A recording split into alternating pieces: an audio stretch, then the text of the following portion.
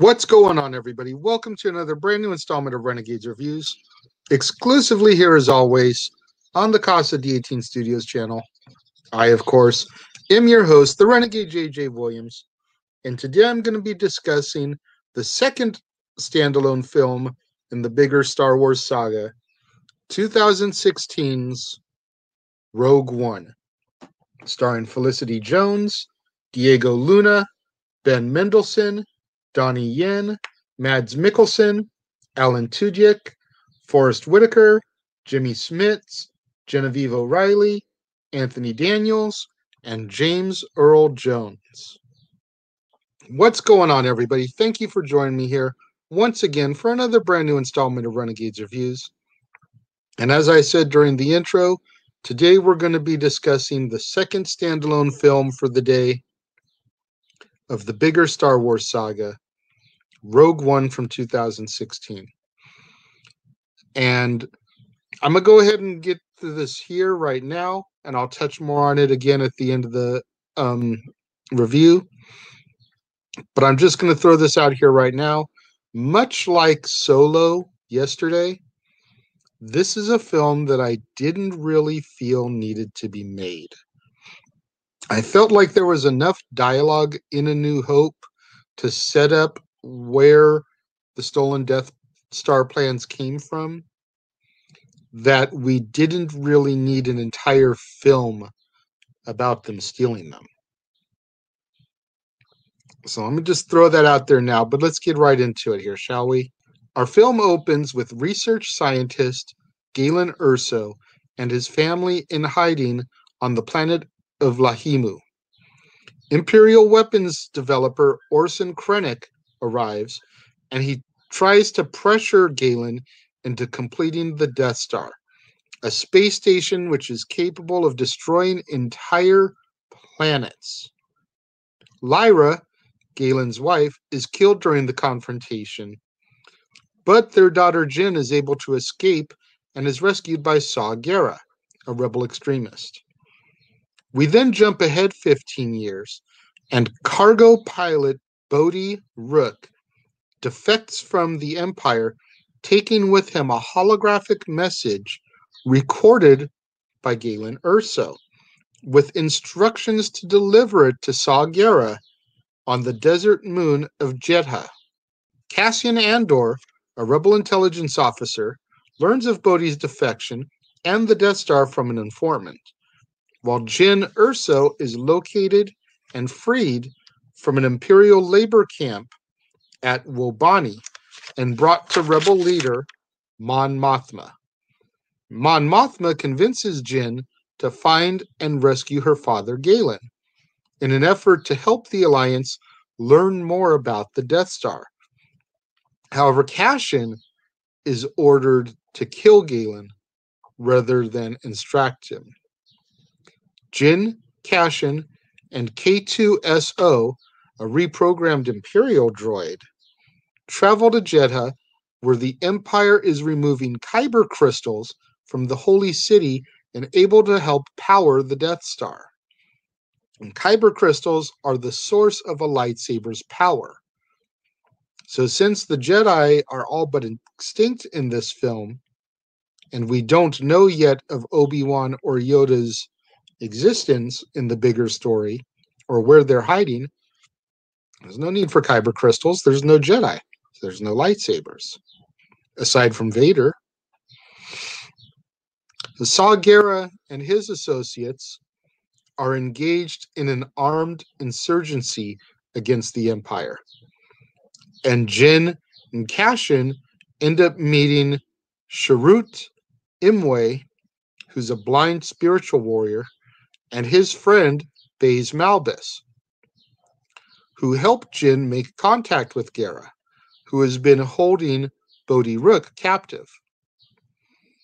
Saw shows Jyn the holographic message from her father, in which Galen reveals that he built a flaw into the Death Star, a vulnerability that, if triggered, could destroy the entire space station. Galen then tells them to obtain the schematics from an Imperial databank located on the planet of Scarif. Meanwhile, on the Death Star, Orson Krennic orders a low powered test shot which destroys Jedha's capital. Jyn and her crew take Bodhi Rook with them and they flee the moon.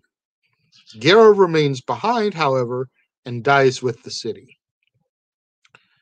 Krennic is congratulated by Grand Moff Tarkin, who then overtakes control on the Death Star project, citing Rook's defection and security leak as his reasoning for overtaking the the the ship there, the station. Bodhi leads the group to Galen Erso's research facility on the planet of Eadu. And Cassian has Galen lined up in his sights, but he elects not to kill him. Jyn reveals herself to her father just moments before rebel bombers attack the facility. Galen ends up being mortally wounded in the attack and dies in his daughter's arms. Jyn and her crew are able to escape on board a stolen Imperial cargo shuttle, and Krennic is summoned by Darth Vader to answer for the Death Star attack on Jedha. Krennic tries to obtain Vader's support in order to gain an audience with the Emperor, and instead Vader force chokes him and orders him to make sure that no other breaches occur. Jyn goes to the Rebel Alliance Council and proposes a plan to steal the schematics for the Death Star, utilizing the Rebel fleet. But she fails to gain approval of the Council because they feel victory against the Empire is near impossible at this point. Jyn is frustrated at the Council's lack of action, so she and her team lead a small squad of Rebel volunteers in order to raid the databank. They arrive on Scarif in the stolen Imperial ship, which Rook dubs Rogue One. Jyn and Cassian don disguises and, along with K2SO, enter the base while the other rebel volunteers create a diversion. The Alliance discovers the raid as a result of the intercepted Imperial communications, and they deploy their fleet in support of the little group. K2SO sacrifices himself so that Jyn and Cassian can retrieve the necessary data. Chirrut Îmwe is killed after activating a master switch, allowing communication with the rebel fleet, and Baze Malbus suffers the same fate shortly afterwards. Bodhi Rook is killed by a grenade after informing the rebel fleet that they need to deactivate the planetary shield in order to allow the transmission of the schematics. Rebel Admiral Raddus uses a Hammerhead corvette in order to destroy two star destroyers, and as a result, the wreckage crashes atop the shield generator, causing the shield to deactivate.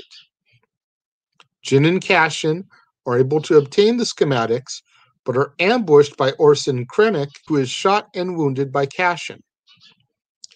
Jyn transmits the schematics to the Rebel command ship, and the Death Star enters orbit just above Scarif. And Grand Moff Tarkin uses another low powered shot to destroy the Imperial base, killing Orson Krennic, Cassian Andor, and Jyn Erso in the process. The Rebel fleet prepares for the jump to hyperspace but a number of ships are intercepted by Darth Vader and his Star Destroyer. Vader boards a rebel command ship and slaughters a number of troops in an attempt to regain the schematics. However, one starship is able to escape with the plans on board. And our film ends with a shot of Princess Leia declaring that they have obtained the schematics and it will provide one thing to the Rebel Alliance hope.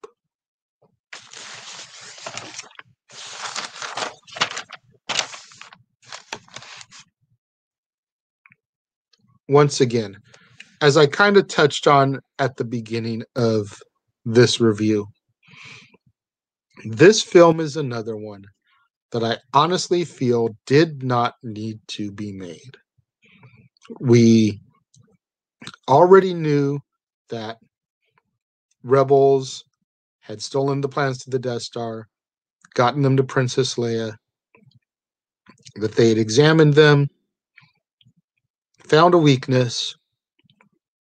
All that information is given to us in the original Star Wars, Episode 4 A New Hope.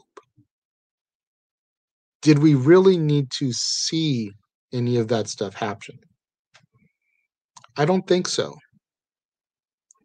You know, in the grand scheme of things, we knew going into this film that everybody in it was probably going to die because none of these characters really pop up in the future sagas.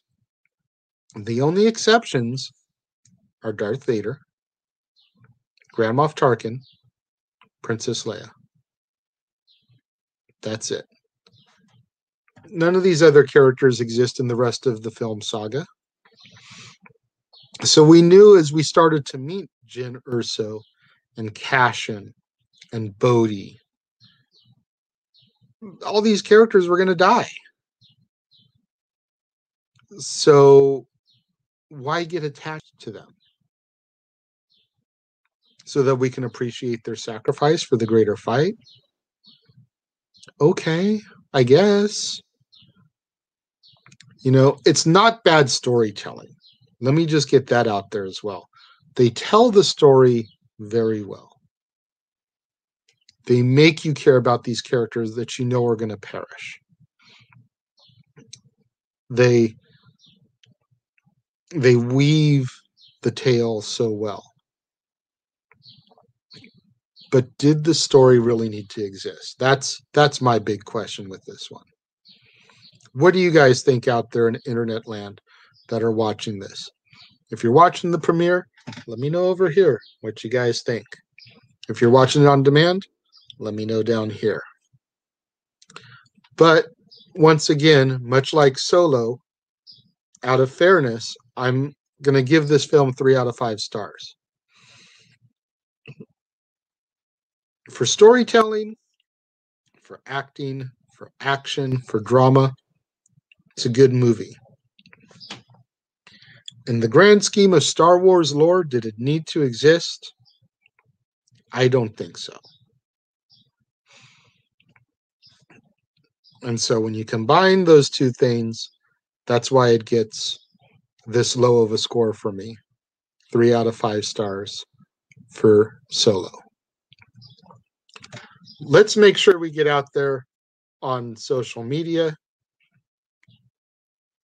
Get those hashtags trending. Hashtag Casa D18 Studios, hashtag Renegades Reviews, hashtag Renegade Returns, and of course, the ever popular hashtag Shenanigans. We interrupt this episode of Renegades Reviews for an important announcement about merchandising. Merchandising? What's that? Merchandising. Come, I'll show you. Merchandising, merchandising, where the real money's made. Make sure you go over to teespring.com slash stores slash Jeff Meacham Network for all the t-shirts you see here from the West Coast professor, Jeff Meacham himself. You can get shirts for the Jeff Meacham Network, Talk Wrestling, as well as the red and gold Meachamania shirts. And while you're there, don't forget to get your shirts of the Casa D18 Studios Brotherhood the Dad's on Wrestling shirt, the Renegade JJ Williams, Statboy Sports Bar, and the hashtag StatboyApproved shirt. Make sure you go over to teespring.com slash stores slash Jeff Meacham Network and score your shirts today. Don't forget to get out there. Do what that commercial just told you. Go to teespring.com slash stores slash Jeff Meacham Network for all your official merchandise of the Casa D18 Studios Brotherhood. Get you your Renegade JJ Williams shirt your dad's not always on wrestling. Stat Boy Sports Bar. Get you your official merchandise for the Jeff Meacham Network. Three different designs of the Jeff Meacham Network logo shirt to choose from. Meachamania, Talk Wrestling, and so much more. Tomorrow, back here on the Casa D18 Studios channel, when I will bring you yet another brand new installment of Renegades Reviews.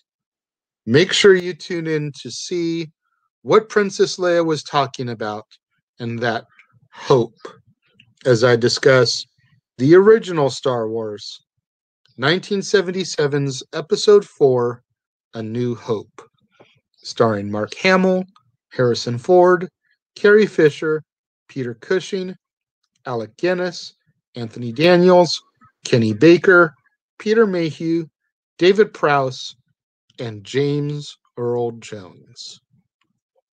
You're not going to want to miss out tomorrow as we go back to the official Skywalker saga with the film that started it all Star Wars Episode 4 A New Hope. Definitely going to be a good one to discuss and get my teeth into. For all of you guys that have been tuning in today during the live stream, leaving your comments over here, thank you very much, everybody. I greatly appreciate the show of support. All you guys that watch on demand, leave your comments down here. Once again, thank you guys so much. I appreciate the support. I appreciate the love and the support and the views from all my loyal viewers. You guys are awesome. Thank you for watching. I will see you guys next time, and may the force be with you.